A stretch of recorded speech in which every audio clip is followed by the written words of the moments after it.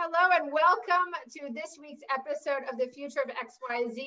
We are here with uh, an amazing human being and medical doctor and Masters of Public Health, uh, Dr. Steven Phillips. Steven, thank you so, so much for joining us on Future of XYZ. Yes, thank you. And I hope I can live up to that introduction.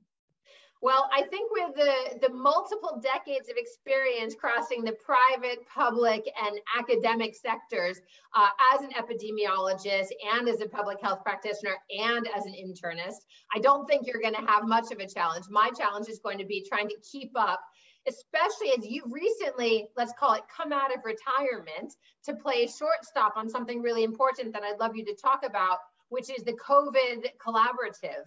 So perhaps we can start this conversation. Everyone's been living with COVID, but what is COVID and what is your role at the COVID collaborative as, as, as it pertains to this? Right. So COVID has been a global pandemic that I think most of us know all too well. That's been around for about 20 months and originated in southern China and now has killed uh, something like five or six million people on the globe and has probably infected about a billion or more human beings. Uh, the US, as you also probably know, has a fair share of that, about 20 to 25% of that total, which is pretty incredible given that we're only about 4% of the world's population. Um, so, but what COVID is in terms of uh, uh, epidemiology and developmental biology is, uh, is a viral pandemic of the kind that has swept the globe uh, all too often, usually in the form of influenza, uh, and uh, especially the last big one was about 100 and, oh, exactly 100 years ago, the Spanish flu which killed something like 50 or 60 million people. So about 10 times as, as much really as the current pandemic. So basically it's a virus that unfortunately has a human host and is capable of human to human respiratory transmission. And anytime a virus jumps species and it is capable of pretty easy human to human transmission, you're gonna have something like this. And I think the smart people recognized as early as January of 2020 that this was going to be a global phenomenon and that it was coming to a theater near you, which it unfortunately has. Very much so. Yeah, and it's interesting because I think I'd love to get you're a scientist um, by training, by practice, and at heart. And I would love to understand, you know, what is the scientific point of view on COVID right now with the multitude of disciplines that matter? Right. Well, the fascinating thing about COVID that I think most of us have seen is that uh, over the last uh, one or two years, almost everyone that we encounter is the smartest person in the room. I have not seen many people who are especially educated and curious who haven't assimilated their own information, largely from the media and sometimes from pretty reliable and pretty smart sources. But the incredible thing about a pandemic like this is that in the terms of the way that we organize disciplines as a, a society, it's as cross-cutting as anything you will ever see. And, and as you noted, Lisa, we've got uh, relevant specialties ranging from immunology to ep epidemiology to virology to vaccinology to preventive health to civil engineering and ventilation to uh, what are the kinds of fibers that should go into masking and how should the mask be made and uh, the polyethylene used in masking. So an incredibly broad array of very, very hyper specialized human competencies are being drawn together. And it's very hard for the average informed citizen, never mind journalists, to really assimilate this in a way that can make accurate and scientifically meaningful assessments and predictions in real time also because this has been one of those cases where you know you talk about the spanish flu back in the early 1900s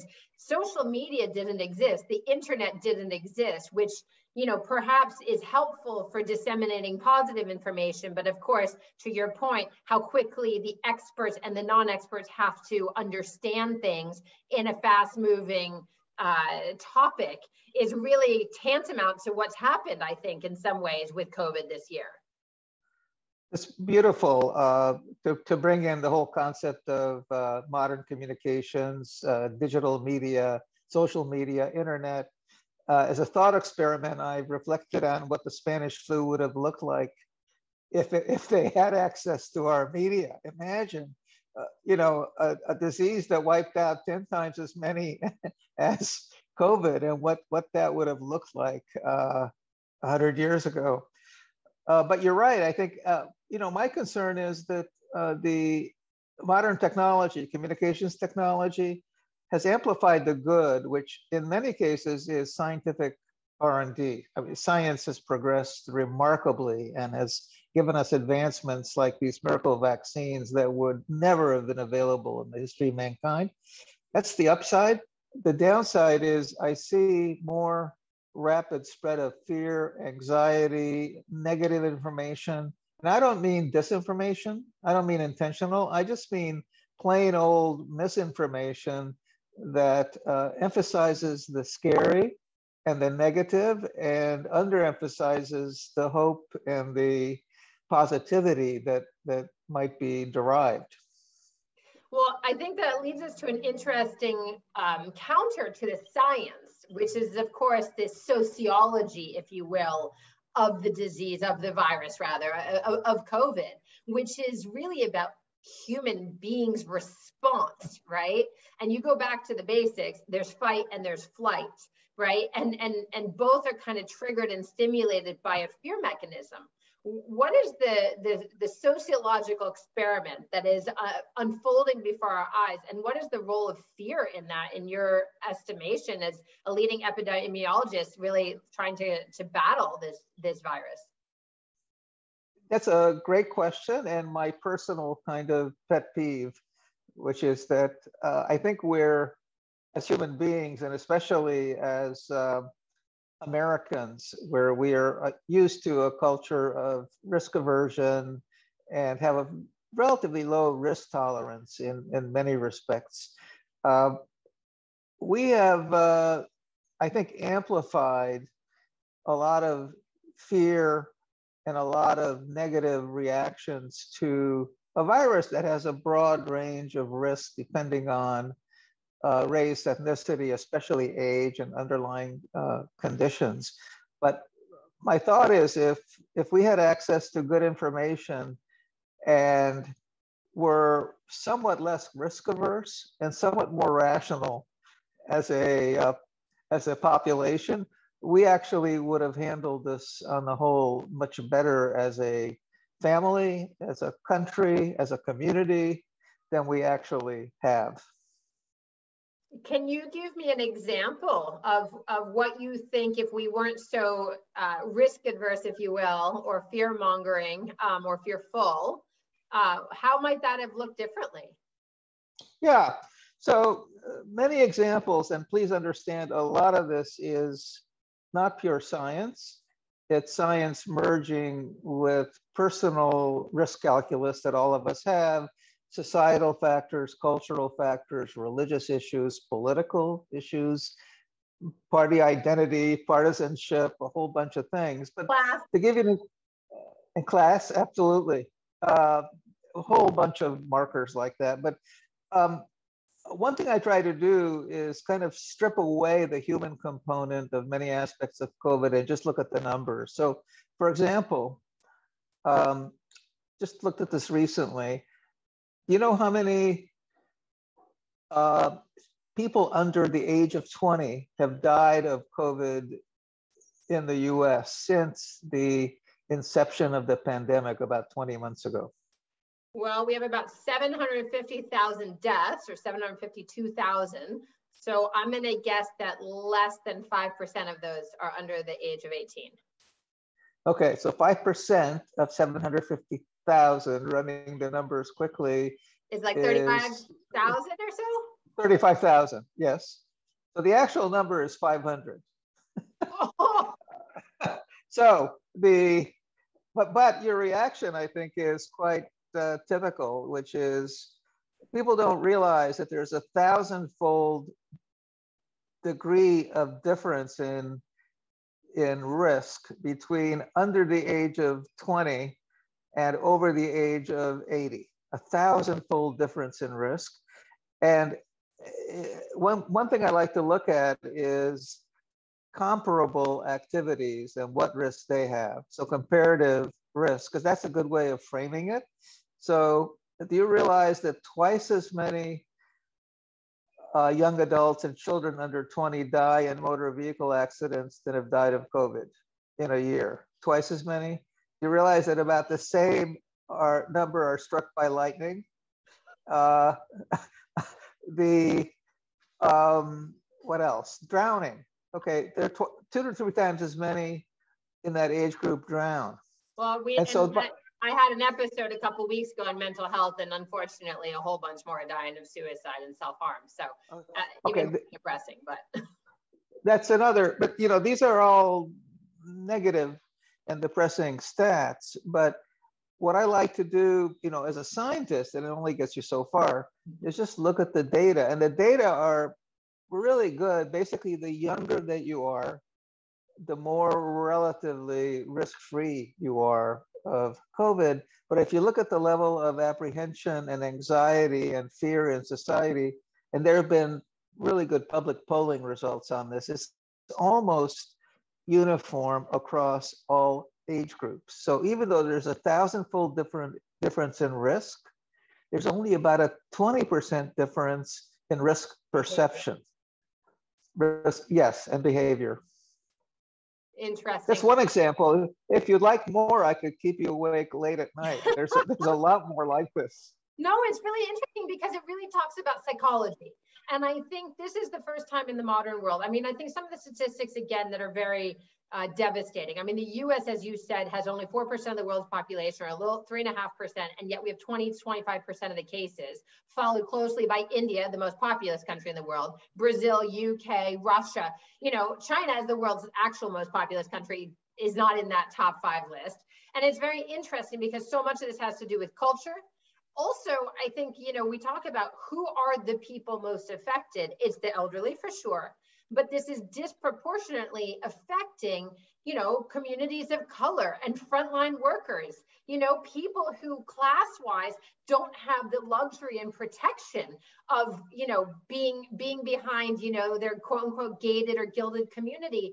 And i think as we look towards you know the what would have happened in the spanish influenza with social media you also have to say there wasn't the same wealth at that time much less the same access or information. So all of this plays into human psychology as well as the fundamental structure of our societies in, in many ways. So COVID is an, a weird scientific experiment of kind of horrible proportions for the modern world in some ways.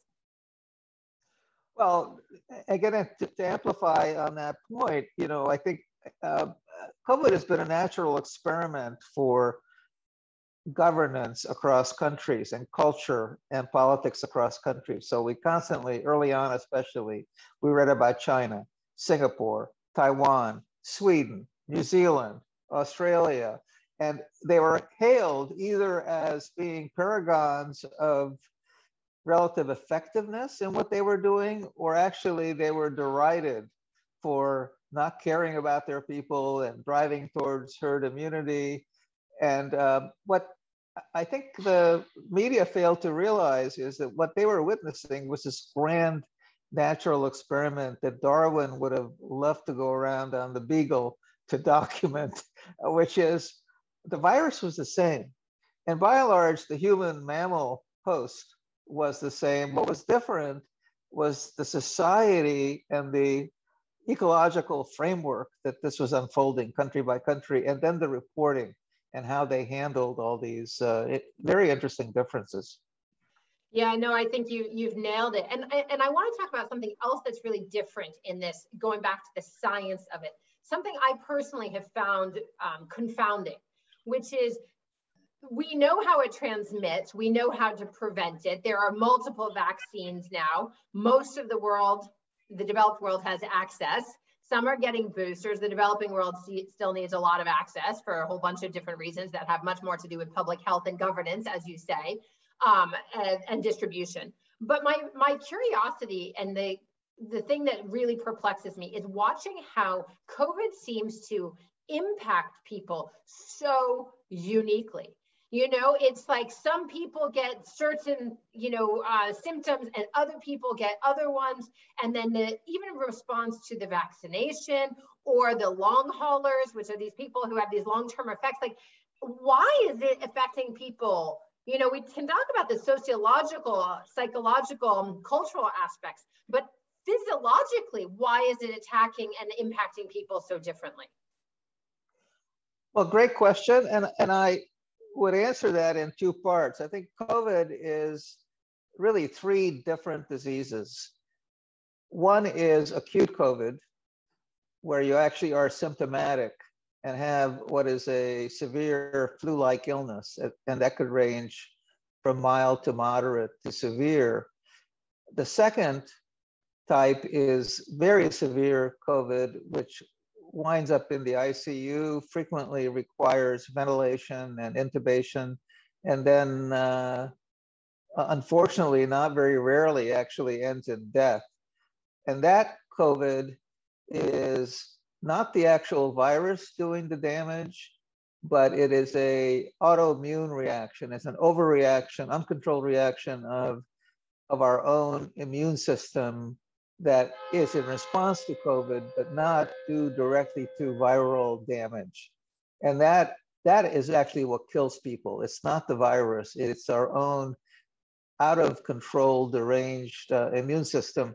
And the third one you raise, which is the most problematic and is probably going to give us the longest uh, tail of the COVID pandemic, is, is the long haulers which have a very, very inexplainable, complicated set of symptoms that can range up to 150 to 200 different symptoms affecting all organ systems and coming on very unpredictably and presenting in very protean diverse manifestations. And no one, frankly, has a good handle on that. But I'd like to, at least conceptually, have us think about three very different patterns and types of diseases acute COVID, severe COVID that's brought on by an autoimmune reaction, and third is long haul COVID, which is really yet to be defined, but can be extremely diverse in its uh, manifestations.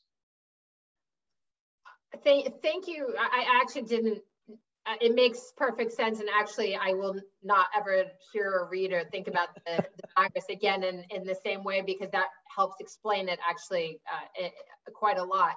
I mean, you have such, again, this storied background, if you will. I mean, beyond your achievements, you've worked for the New York City Department of Health, you've worked at the CDC, the Center for Disease Control, you've worked in the private sector. I mean, you worked at Exxon for many years, plus think tanks. As we look to the future of COVID, which is, of course, the topic of Future of XYZ, the long haulers form this horrible um, bridge of the topic because you know, we're looking at later this week, you know, today's November 4th, November 8th is when the US is finally reopening borders to international travelers. I mean, it's been almost two years that people have not been able to come to the United States and there's been restrictions all around the world. I mean, as we use that as an example, or the long haulers as that bridge, what is the future of COVID? Well, the future of COVID is actually pretty good. I, I think that there's a fairly good consensus emerging in the scientific community that COVID 19 is going to pass from pandemic to endemic. And what does endemic mean? It means living with the virus, much like we're living with many things that are causing a fair degree of harm, but we've uh, acculturated and accommodated to accepting that harm. Influenza, mumps, uh, measles, even some other vaccine preventable illnesses, uh, we don't get frightened. We don't like it, but we don't go around every day uh, worried sick about it. So, uh, and it looks like uh, epidemiologically within the next uh, anywhere from three months to a year, we no longer probably will have a pandemic. We will have an endemic where people will get COVID. They, by and large, won't get sick because of uh, nearing herd immunity, a combination of uh, immunization, which uh, so far something like 60% of Americans have been fully vaccinated, and ultimately probably 70, 75% might be. And then uh, besides vaccination, there's natural infection. There's something like 30% of Americans, some overlapping with those that are vaccinated, that are also naturally infected. So we're gravitating not too slowly toward herd immunity. So endemicity, living with the virus is, I think, a fairly positive future. I, I would say society, I would be I would be uh, waging right now in Las Vegas that a year from now, you and I are going to be mentally and physically virtually normal along with the rest of the country and pursuing our activities much like we did before. And this will not recede into a vacuum, but I think people will, uh, it will no longer be a topic of daily conversation, shall we say. I, mean, that's if, if you were anyone else, Dr. Phillips, I would probably be a little bit suspect, but the, that's very promising given how close you are to this and your own uh, background. I, I would ask just one last thing. I mean, should uh, people are fearful still, right? And, but people are also hungry to get back to normal or whatever this life is of, of gathering and in-person contact you know, we have the Delta variant, and now there's in England perhaps another variant out of that variant. This seems just like the flu has to be updated, the shot has to be updated every year. This seems like the future is not only is it's not a pandemic, it's an endemic, but it will continue to mutate. So we will be living with mutations of of the the original virus. Is that accurate? Right, but again, let me try to be reassuring that, uh, and also practical. I like to leave people with practical, useful, uh, implementable information. So, what should the average person do? Get vaccinated if you're not. Get a lot of rapid tests because you're going to need it. You want the assurance that you and others in group events uh, are not infectious, not just infected, but infectious. And rapid tests are going to be rapidly available to you, inexpensive. So that's going to open up both physically and mentally a good deal of a sense of well-being and society. Third, resume your normal activities, you know, mask wherever you need to. Don't stop living life. And I would say to the fullest. And I think if you're, you know, under 70 and don't have uh, underlying conditions, the future is now. Go for it, but do it, do it advisedly with the prevention tools that I just mentioned. Um, well, I can't imagine a more positive place to end the conversation about the future of COVID. Dr. Steven Phillips, thank you, thank you, thank you for joining us today. It's been my pleasure. Great being with you, and you have great questions. Thank you. I appreciate that. Um, and everyone watching um, or listening, make sure that you subscribe to Future of XYZ, uh, wherever you get your podcasts, Apple, Spotify, Amazon, etc. Subscribe and follow on YouTube, Instagram, and you can also nominate future guests at future-of.xyz. Dr. Phillips, again, future of COVID, it is not as dire as we thought even just 12 months ago. Thank you uh, for your expertise and your time. My pleasure, Lisa. Thank you.